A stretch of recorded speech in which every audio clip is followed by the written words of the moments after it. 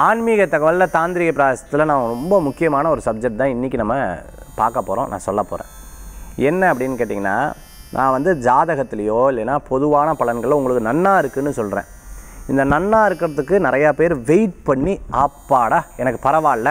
எனக்கு வந்து இனிமே நன்னா இருக்கும் அப்படின்னு நினச்சின்னு இருக்கிறவா அந்த நல்லா இருக்கிற சமயத்தை வேறு விஷயத்துக்கு டைவர்ட் பண்ணிடக்கூடாது அப்படி டைவர்ட் பண்ண ஆரம்பிச்சிட்டோம் அப்படின்னு சொன்னால் நல்லா இருக்கக்கூடிய காலத்தை நம்ம உணர முடியாது.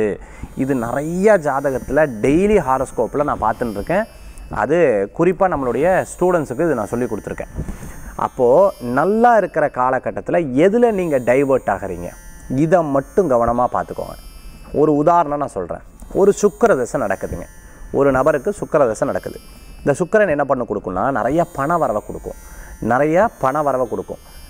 அட்லீஸ்ட் அந்த பண வரவுக்குண்டான ஒரு ஏற்பாடை ஏற்படுத்தி கொடுக்கும். அதை நீங்கள் வந்து அதை வந்து நீங்கள் மணியாக மாற்றிக்கொள்ளலாம் அதாவது வேலையை கொடுக்கும் நீங்கள் பணமாக அதை பெற்றுக்கொள்ளலாம். இந்த மாதிரி உங்களுடைய திறமையை வைத்து இந்த சுக்கிரன் வந்து கொஞ்சம் உங்களை புஷ் பண்ணி விடும்.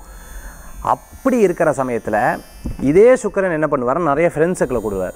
இதே சுக்கிரன் என்ன பண்ணுவார்? நிறைய நபர்களை தெரிய வச்சு அந்த அவர்களுடைய குணாதிசயங்களுக்கு ஏற்ற மாதிரி ஜாலியாகவும் பேச்சிலேயோ அல்லது அவர்களுடைய பழக்க வழக்கத்துக்கு உங்களை மாற்றிடுவோம் அப்படி மாற்றி எடுத்துன்னு வச்சுக்கோங்களேன் போச்சு. இப்போது எனக்கு தெரிஞ்ச ஒரு நபர். அவருக்கு ஜாதகம் பார்க்க வந்திருந்தார். அவர்கிட்ட நான் சொல்லியிருந்தேன் இந்த டைம் மேலே உங்களுக்கு நல்லா இருக்குன்றேன் உண்மையாகவே அந்த டயத்துக்கு மேலே அவர் ஒரு கான்டாக்ட் கிடச்சிது. அந்த கான்டாக்டை வச்சு அப்படியே டெவலப் ஆகிறார் பண வரவு வருது.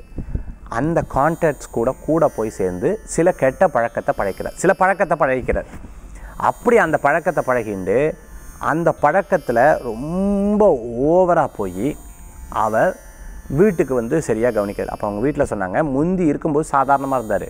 இப்போ இப்படி போய் சம்பாதிக்கிறார் கடைசியில் இப்படி யாராரு சார். நீங்கள் எதாவது அட்வைஸ் பண்ணுங்கன்னு சொல்கிறார் அப்போ நான் அவர்கிட்ட சொன்னது சிம்பிள் இந்த சுக்கரதசை உங்களுக்கு ஃபுல் ஃபார்மில் ஹண்ட்ரட் பர்சன்ட் ஒர்க் அவுட் பண்ணணுமா இல்லை ஃபிஃப்டி பர்சன்ட் ஒர்க் ஆகி ஃபிஃப்டி பர்சன்ட் இப்படி போகணுமா காசுன்னு கேட்டேன்.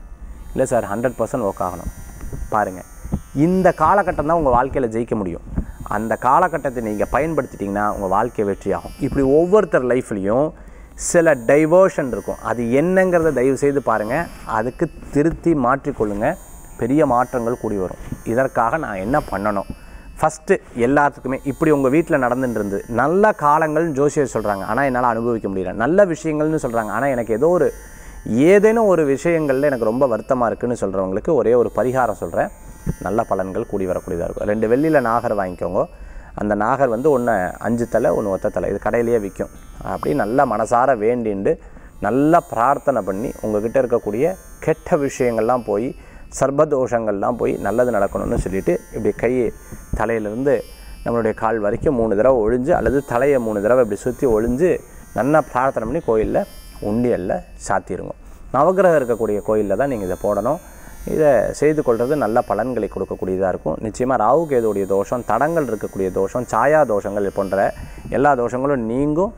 எல்லா காரியங்களும் உங்களுக்கு வெற்றி பெறத்துக்குண்டான வாய்ப்புகள் கூடி வரக்கூடியதாக இருக்கும். அதனால் எப்போவுமே நமக்கு இருக்கக்கூடிய நல்ல டயத்தை ரொம்ப அழகாக பயன்படுத்திக்கிறது மிகப்பெரிய பலன்களை கொடுக்கும். மீண்டும் சந்திப்போம். வேல்வேல் முருகா வெற்றிவேல் முருகனுக்கு அரகரோகரா. நம்மளுடைய